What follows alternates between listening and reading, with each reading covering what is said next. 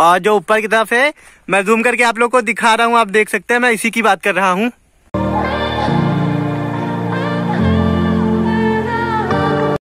Hello everyone आदाब welcome to another blog आज इस ब्लॉग में आप लोग को लेके आया हूँ, आप सामने की तरफ़ देख सकते हैं, मैं आया हूँ भट्टा। तो आप सब लोग के पहले माइंड में ये आ रहा हो कि मैं भट्टा क्यों लेके आप लोग को आया हूँ। एक्चुअली हम और अंकित, जो कि अभी कैमरे में वीडियो रिकॉर्ड कर रहा है तो अंकित के फादर यहाँ के मैनेजर हैं, जो देख रेख करते हैं तो वो वही पापा से अपने मिलने आ रहा था तो अभी मेरे घर आया था। तो मैंने कहा कि भट्टा जा रहा बोला कि भट्टा तो मैंने कहा, मैं भी चलूँगा, एक ब्लॉग बनाता हूँ। तो मैं आप लोग के लिए ब्लॉग लेके आया हूँ, क्योंकि बहुत से लोगों को ये नहीं पता है कि ईट कहाँ पे बनती है। अगर ये पता पता भी होगा कई लोग को, लेकिन उन लोग ने आज तक कभी देखा नहीं होगा कि भट्टा कैसा होता है। तो क्योंकि शहर वालों को इतना मतलब पता नहीं रहता है और जितने भी आउटसाइडर हैं तो उनके लिए ये वीडियो बहुत इंपॉर्टेंट है। अगर आप हमारे चैनल पे नए हैं तो चैनल को सब्सक्राइब कर दे और बेल आइकन को प्रेस कर दे। तो अंकित भाई लेके आइए आगे की तरफ़। तो आगे की तरफ़ आइए, पहले तो आप लोग देखिए।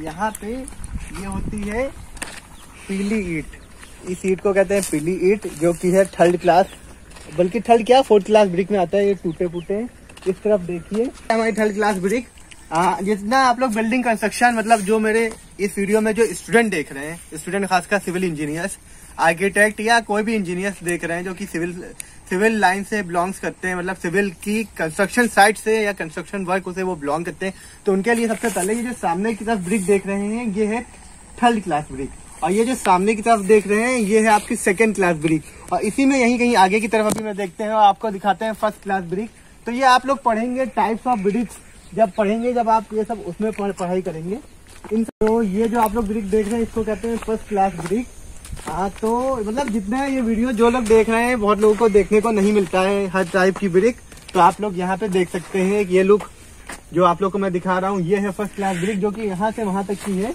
और सामने की तरफ़ भाई है भाई की आइए भाई से मुलाकात करते हैं और भाई का नाम जानते हैं।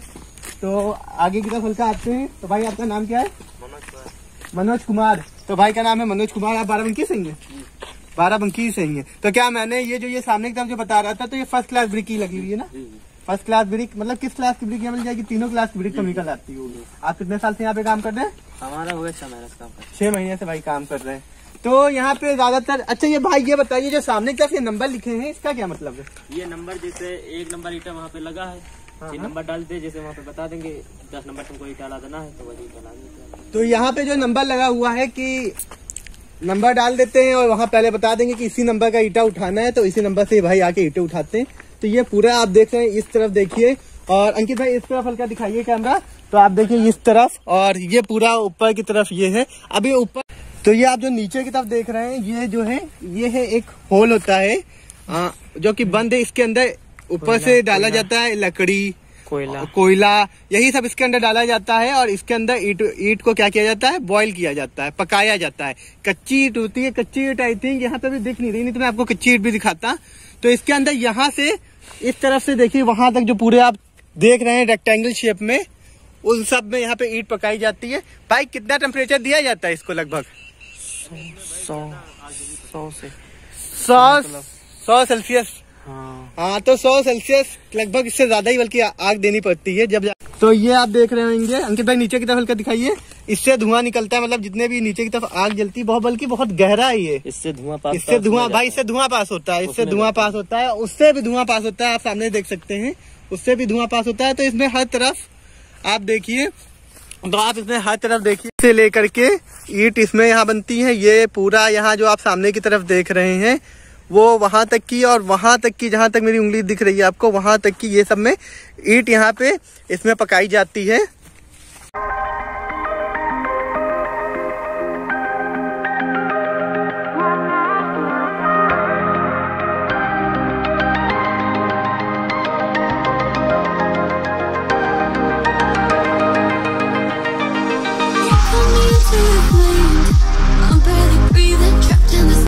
अंकित भाई मैं हमें कंफ्यूजन ये हो रही थी कि हम तो इतनी देर से नॉलेज दे रहे हैं सबको कि ये बता रहे बता रहे।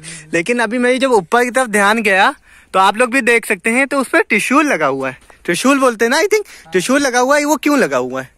अरे जो आसमानी बिजली गिरती है तो ये अपने अंदर एब्जॉर्ब कर लेती है इससे मतलब चिमनी में दरार न पड़े।